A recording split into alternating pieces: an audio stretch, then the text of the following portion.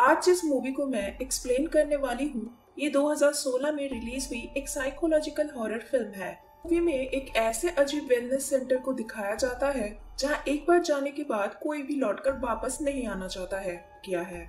Story शुरू करने से पहले आप लोगों से एक रिक्वेस्ट है, जो कोई भी मेरे वीडियो को पहली बार देख रहे हैं प्लीज़ चैनल को सब्सक्राइब करके बेल नोटिफिकेशन को ऑन कर लीजिएगा। एंड वीडियो अगर अच्छी लगी तो प्लीज़ एक लाइक और एक कमेंट ज़रूर कर देना, ताकि मुझे और ऐसे वीडियोस बनाने की मोटिवेशन मिले। तो कहानी में एक यंग एम्बिशियस आदमी को दिखाया जाता है, जिसका नाम है लॉकहार्ट जो एक लार्ज फाइनेंशियल सर्विस कंपनी का एग्जीक्यूटिव होता है। अब कंपनी के कुछ इम्पोर्टेंट डील्स को हैंडल करने के लिए कंपनी के सीईओ मिस्टर पैमरुक की साइन चाहिए होता है। लेकिन पैमरुक गए हुए होते हैं स्विट्जरलैंड की एक wellness care centre cum spa में, अपना मानसिक थकान दूर करने दो हफ़्ते के लिए। लेकिन जब कंपनी के बोर्ड मेंबर्स को पैमरुक की एक चिट्ठी मिलती है, जहाँ लिखा था कि वो और वापस नहीं आना चाहते हैं तो बोर्ड ऑफ़ डायरेक्टर्स लॉकहार्ट को उस स्पा में भेज देते हैं पैमरुक को वापस न्यूयॉर्क लेके आने के लिए। तो इसके बाद लॉकहार्ट स्विट्जरलैंड आ जाता है और एक टैक्सी रेंट करके निकल जाता है स्पा के लिए, जो कि गाँव से दूर ऊपर एक हिल पर था। जाते टाइम एक गाँव वाला उसकी कार पर ड्रिंक फेंकता है। कार ड्राइवर लॉकहार्ट को बताता है हिल में रहने वाले लोगों के लिए गाँव वालों का ऐसा बर्ताव का कारण उनका 200 साल पुराना इतिहास है। अभी जो स्पा है, वो बहुत पहले एक किला हुआ करता था, जहाँ नवाब रहा करते थे। वहाँ का आखिरी नवाब अपने ब्लड लाइन को लेके बहुत पर्टिकुलर था। उसका मानना था, बस उसकी खुद की बहन ही उसके बच्चे की माँ बन सकती है। लेकिन शादी वाली रात को गाँव वाले किले में आ जाते हैं और नवाब के बहन को उसी के सामने ज़िंदा जलाकर मार डालते हैं। और किले को भी आग लगा देते हैं। अब यही इंटरेस्टिंग कहानी सुनते हुए लॉकहार्ट स्पा पहुँच जाता है। लेकिन विजिटर आवर्स खत्म हो जाने के कारण उसको पैमरुक के साथ मिलने नहीं दिया जाता है। वो उस पार्क के मैनेजर डॉक्टर पीटरसन को बताता है कि वो बहुत दूर से आया है पैमरुक को किसी ज़रूरी काम से वापस लेके जाने के लिए। लेकिन पीटरसन बताता है कि पैमरुक शाम के सात बजे अवेलेबल होंगे। तब तक अगर लॉकहार्ट वेट कर सकता है तो वो उन दोनों की मुलाकात करवा देगा। अब ये सुनने के बाद लॉकहार्ट राज़ी हो जाता है और क्योंकि वहाँ स्पा में कोई नेटवर्क नहीं होता है तो वो कॉल करने वापस स्पा से होटल आ रहा होता है, जहाँ निकलते ही रास्ते में उसकी कार का एक्सीडेंट हो जाता है। अब तीन दिन बाद लॉकहार्ट को होश आता है और वो अपने आप को स्पा में ही पाता है। एंड तभी उसकी मुलाकात स्पा के डायरेक्टर डॉक्टर हेनरिक बॉलमर से होता है। जो उसको बताता है कि एक्सीडेंट में उसका पैर टूट चुका है। एंड ये खबर उन्होंने लॉकहार्ट के ऑफ़िस में भी दे दिया है। तो उसको ऑफ़िस का टेंशन लेने की ज़रूरत नहीं है। वो लॉकहार्ट को कुछ दिन उनके स्पा ट्रीटमेंट को ट्राई करने के लिए कहते हैं और ढेर सारा पानी पीते रहने के लिए भी बोलते हैं। क्योंकि यहाँ के पानी को बहुत खास और अच्छा माना जाता है हेल्थ के लिए। अब वॉलमर के रूम से चले जाने के बाद जब लॉकहार्ट पानी पी रहा था, तब वो पानी में एक छोटा सा बग नोटिस करता है। लेकिन ज़्यादा ध्यान ना देके वो स्पा को एक्सप्लोर करने चला जाता है, जहाँ हर कोई पेशेंट स्पा के हाइड्रोथेरेपी ट्रीटमेंट से काफ़ी खुश नज़र आ रहा था। लॉकहार्ट स्पा में घूमते हुए स्टीम बाथ की तरफ़ चला जाता है, जहाँ उसकी मुलाकात पैमब्रुक से होती है और दोनों कंपनी के इश्यूज़ के बारे में बात करने लगते हैं। एंड लॉकहार्ट फाइनली मना लेता है पैमब्रुक को साथ में न्यूयॉर्क चलने के लिए। इसके बाद लॉकहार्ट की वहाँ के कुछ मरीजों के साथ भी जान पहचान होती है, जैसे कि मिसेस वॉटकिंस और एक प्यारी सी लड़की है ना। वो उन सबको न्यूयॉर्क वापस चले जाने के बाद बताता है, जहाँ बाकी लोग सुन के खुश होते हैं, लेकिन हैना कहती है कि आज तक कोई वापस नहीं गया है। इसके बाद लॉकहार्ट पैमब्रुक से मिलने चला जाता है, लेकिन पैमब्रुक उसको कहीं नहीं मिलता। वो सीधा डाइनिंग हॉल पर जाता है, जहाँ सब लोग डिनर कर रहे थे। वॉलमर से पूछता है कि पैम रुक कहाँ है? जिसके रिप्लाई में वॉलमर कहता है कि पैम रुक का हेल्थ पहले से खराब हो गया है बिज़नेस को लेकर डिस्कशन की वजह से। लेकिन लॉकहार्ट चिल्लाते हुए कहता है कि वॉलमर अमीर पैसों वाले लोगों को लूट रहा है, पानी के नाम पे। लेकिन वो कैसे भी करके पैम रुक को यहाँ से लेके जाएगा बट तभी उसके नाक से खून निकलने लगता है और वो वहीं पे बेहोश हो जाता है। अब नेक्स्ट सीन में दिखाया जाता है जहाँ वॉलमर उसके केबिन में लॉकहार्ट का चेकअप कर रहा था। चेकअप के टाइम लॉकहार्ट हैना की फ़ोटो वॉलमर के टेबल पे नोटिस करता है। हैना के बारे में पूछते ही वॉलमर उसको एक स्पेशल केस बताता है और लॉकहार्ट के एक्सीडेंट के टाइम कुछ किए गए टेस्ट रिजल्ट्स अच्छे ना होने के कारण उसको हाइड्रोथेरेपी लेने के लिए सजेस्ट करता है, जिसमें लॉकहार्ट राज़ी हो जाता है, लेकिन साथ ही साथ वो पैमब्रुक का फ़ाइल भी चोरी कर लेता है। इन सब चीज़ों के बीच लॉकर्ट और एक चीज़ काफ़ी नोटिस करता है कि वॉलमर पीटरसन वहाँ के स्टाफ एंड इवन हैना भी एक ब्लू बोतल से ड्रॉप्स लेते रहते हैं, जिसको वो लोग विटामिन कहते हैं।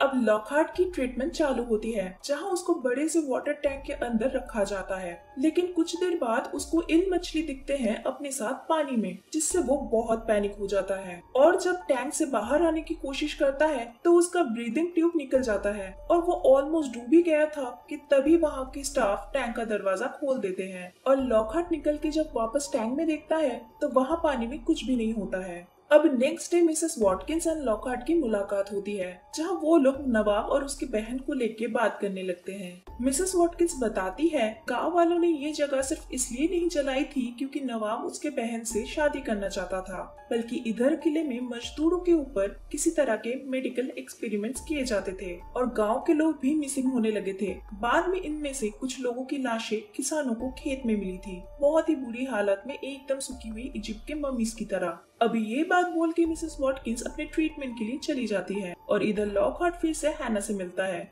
और उसको टाउन तक साइकिल पर राइड देने के लिए कहता है। अब वो लोग एक लोकल पब में आते हैं, जहाँ लॉकहार्ट हैना को बियर ऑफ़र करता है। हैना के लिए फ़र्स्ट टाइम था किसी लड़के के साथ ऐसे बाहर आना और बियर पीना भी, क्योंकि उसको स्पा से बाहर निकलने की परमिशन ही नहीं है। लॉकहार्ट उसके माता पिता के बारे में पूछने पर वो बताती है कि उसकी माँ उसके बचपन में ही जल के मर गई थी और बॉलमैन ने कहा है कि जब वो ठीक हो जाएगी, तब उसका पिता उसको लेने आएगा। अब लॉकहार्ट यहाँ टाउन में कोई डॉक्टर ढूँढने आया था, जिसको वो पैम रुक कर रिपोर्ट दिखा सके। पब के मालिक से उसको एक जानवरों के डॉक्टर के बारे में पता चलता है और वो हैना को पब में वेट करने के लिए कह के उस डॉक्टर से मिलने चला जाता है। अब वो डॉक्टर रिपोर्ट देखकर बताता है कि पैम रुक का दांत टूट जा रहा है। क्रोनिक डिहाइड्रेशन की वजह से। अब लॉकहार्ट इस बात से काफ़ी सरप्राइज़ होता है क्योंकि स्पा में हर टाइम पानी ही पिलाया जाता है तो ऐसे कैसे हो सकता है? लेकिन तभी उसको 200 साल पहले नवाब के एक्सपेरिमेंट से मरे हुए लाशों की बात याद आती है, और उसको इन दोनों मैटर्स के बीच कोई कनेक्शन है, ऐसा लगने लगता है। उस डॉक्टर से लोकहार्ट को ये भी पता चलता है कि नवाब की बहन बीमार नहीं थी, उसको बस कुछ प्रॉब्लम्स थे, जिसके कारण बच्चा नहीं हो रहा था, और नवाब इसी का क्योर ढूंढ रहा था। इसके बाद लॉकहार्ट अब पब में वापस आता है और न्यूयॉर्क फ़ोन लगाता है। ये जानने के लिए कि पैम ब्रुक को पहले से कोई ऐसी बीमारी थी या नहीं। लेकिन ऑफ़िस से बताया जाता है कि पैम ब्रुक अपने हेल्थ को लेकर काफ़ी कंसर्न था। इसलिए वो खुद के हेल्थ का काफ़ी ख्याल रखता था। और उसको ये भी पता चलता है कि किसी ने भी उसके एक्सीडेंट की खबर ऑफ़िस में इन्फॉर्म नहीं किया था। तो वॉलमैन ने उससे झूठ बोला है। अब इधर पब में है ना डांस करने लगती है और गाँव का एक लड़का उसको छेड़ने लगता है। इसलिए वहाँ लॉकहार्ट की उस लड़के से फाइट हो जाती है और तभी वहाँ वॉल्वर आ जाता है और उन दोनों को वापस ले जाता है। अब स्पा में आने के बाद लॉकहार्ट की दांत निकल आती है।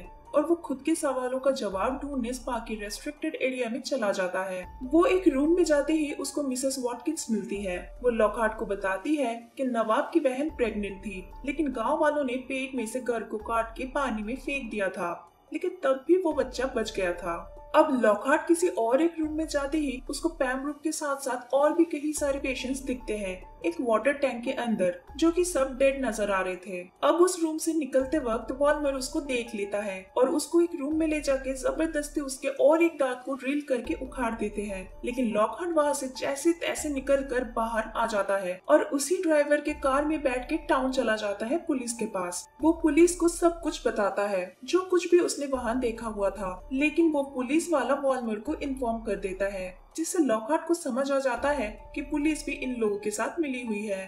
तभी वहाँ पैमरुक भी आ जाता है, जिसको लॉकहार्ट ने डेट समझा था। पैमरुक वहाँ उल्टा लॉकहार्ट पर ही ब्लेम देता है और कहता है, लॉकहार्ट उसको ज़बरदस्ती यहाँ से ले जाना चाहता है। अब लॉकहार्ट परेशान हो जाता है और उसके पास कोई चॉइस नहीं होता है सिवाय वॉलमर के साथ वापस लौट जाने के। इसके बाद लॉकहार्ट की प्रॉपर हाइड्रोथेरेपी शुरू होती है एंड वो भी धीरे धीरे पैमरुक की तरह ही यकीन करने लगता है कि वो सच में बीमार है और उसको ठीक होने के लिए इधर ही रहना चाहिए। लेकिन एक दिन उसको अपने पिता की याद आती है, जिन्होंने खुद के ऊपर लगाए गए फेक एलिगेशन के चलते सुसाइड कर लिया था। लेकिन लॉकहार्ट डिसाइड करता है कि वो होप नहीं छोड़ेगा और सच्चाई जान के रहेगा। वो अपने पैर पर लगे प्लास्टर को खोल देता है, जिससे उसको पता चलता है कि उसकी पैर तो कभी टूटी ही नहीं थी। अब वो एक रेस्ट्रिक्टेड क्वार्टर में चला जाता है, जहाँ वो रोज रात बॉडीज को ले जाते हुए देखता था। वहाँ उसको बाकी लाशों के साथ मिसेस वॉटकिंस की सूखी हुई लाश भी मिलती है और वो उन लाशों को पानी में फेंकते हुए भी देखता है, जिसके बाद इल मछली उन बॉडीज को खा जा रहे थे। अब तभी वहाँ का केयर टेकर उस पर हमला कर देता है, लेकिन लॉकहार्ट उसको मार के वहाँ से निकल जाता है। अब इधर हैना को दिखाया जाता है स्विमिंग पूल में, जहाँ उसको पीरियड्स आ जाने पर ब्लीडिंग होना शुरू हो जाता है, और तभी वहाँ पूल में इल मछलियाँ आ जाती है। लेकिन अजीब बात ये थी कि इन मछली उसके ऊपर हमला नहीं करते, बस उसके चारों तरफ़ घूमने लगते हैं। हैना डर जाती है और पूल से बाहर आ जाती है। अब क्योंकि हैना को पीरियड्स का कोई भी आइडिया नहीं था तो वो खुद को बीमार समझती है और वॉलमर को बताने डाइनिंग हॉल में आ जाती है। अब लॉकहार्ट भी डाइनिंग हॉल में आ जाता है और सारे पेशेंट्स के सामने वॉलमर को सुनाने लगता है कि कैसे वो सबको बीमार कर रहा है। लेकिन स्ट्रेंजली सारे पेशेंट्स उसी के अगेंस्ट में चले जाते हैं और खुद को बीमार बताने लगते हैं, जैसे कि उनको कोई हिप्नोटाइज कर दिया हो। अब लॉकहार्ट की आँख फिल्टरेशन यूनिट में खुलती है। वॉलमर ज़बरदस्ती एक ट्यूब उसके मुँह में घुसा देता है, जिससे कि इल वाला पानी उसके बॉडी में जा सके। इस पर वॉलमर लॉकहार्ट के लगाए गए सारे एलिगेशन को कबूल करता है कि कैसे नवाब के किए गए आविष्कार को वो इस्तेमाल कर रहा है। वो ऐसे लोगों को यूज़ करता है जो पैसे वाले हैं, लेकिन उनको देखने वाला कोई नहीं। नवाब जो चीज़ गाँव वालों के साथ ज़बरदस्ती करता था, लेकिन वॉलमर सबको बिलीव दिलाता है कि वो लोग बीमार हैं। और ये सब एक थेरेपी का ही पार्ट है। वॉलमर इल के बारे में भी बताता है। कि कैसे दुनिया के दूसरे जगह के पानी में इल मछलियाँ कुछ ही साल सरवाइव कर पाते हैं। बट इधर के पानी में 300 साल बचते हैं। अब ये इल मछली वाला पानी इंसानों के लिए बहुत ही डेंजरस होता है।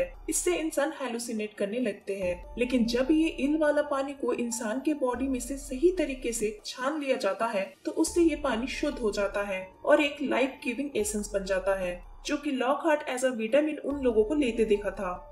अब सीन चेंज होता है जब वॉलमर हैना को एक न्यू ड्रेस गिफ्ट करता है और वो बताता है कि वो अब रेडी हो चुकी है। अब ये चीज़ हमको आगे पता चलेगी कि उसने ऐसा क्यों बोला। इसके बाद हैना लॉकहार्ट से मिलने जाती है, जहाँ लॉकहार्ट की दांत फिक्स कर दी गई थी और वो भी बाकी पेशेंट्स की तरह ही बात करने लगा था। अब रात को वॉलमर एक पार्टी थ्रो करता है स्पा के स्टाफ के लिए एंड हैना को एक रूम में लेके जाता है। इधर लॉकहार्ट को मिसेस वॉटकिंस की बात याद आती है, जहाँ उन्होंने बोला था कि बच्चा सरवाइव कर गया है। एंड मिसेस वॉटकिंस की पजल में से एक नोट भी मिलता है, जहाँ लिखा था शी डजेंट नो अब ऑफ़िस में लॉकहार्ट को एक पुरानी तस्वीर दिखाई देती है, जो कि किले को जला देने के बाद रिकंस्ट्रक्शन के टाइम का है। उस पिक्चर में उसको एक आदमी दिखता है, जिसका मुँह बैंडेज से पूरा कवर्ड था, और उसके साथ एक बच्ची भी दिखाई देती है, जिससे लॉकहार्ट को सब कुछ समझ आ जाता है। अब इधर वॉलमर हैना के हाथ पैर बाँध देता है और रेप करने की कोशिश करता है, लेकिन तभी वहाँ लॉकहार्ट आ जाता है और हैना को वॉलमर की बेटी बताता है। मतलब वो इतना ही पागल सन की इंसान था कि बहन बेटी कुछ भी नहीं देखा उसने। खैर, दोनों में फाइट शुरू हो जाती है और वॉलमर अपने मुँह से फेक स्किन निकाल देता है।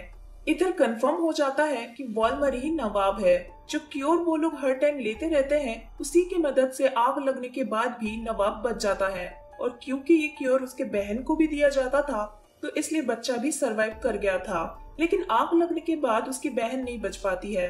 और इसी क्योर की वजह से नवाब और हैना दो सेंचुरी तक सरवाइव कर लेते हैं, बिना किसी बुढ़ापे के। अब नवाब और लॉकहार्ट के बीच जो फाइट हो रही थी, उसमें लॉकहार्ट नवाब के ऊपर आग लगा देता है और हैना को बचाने चला जाता है। इधर आग धीरे धीरे फैलने लगती है पूरे स्पा में और नवाब भी खुद के बॉडी में लगी हुई आग को बुझा के लॉकहार्ट को मारते हुए ईल मछली वाला पानी के सामने लेके आता है और उसको उसमें फेंकने की कोशिश करता है। लेकिन तभी हैना आ जाती है और उसके पिता को मार डालती है और नवाब उस पानी में गिर जाता है और इल मछली उसको खाने लगते हैं।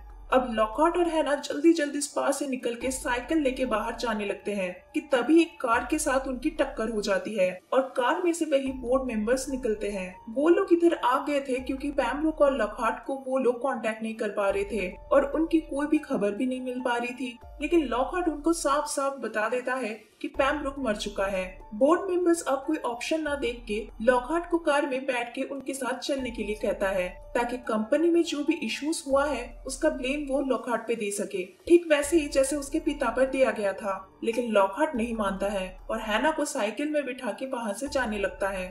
और दोस्तों, मूवी इधर ही खत्म हो जाती है।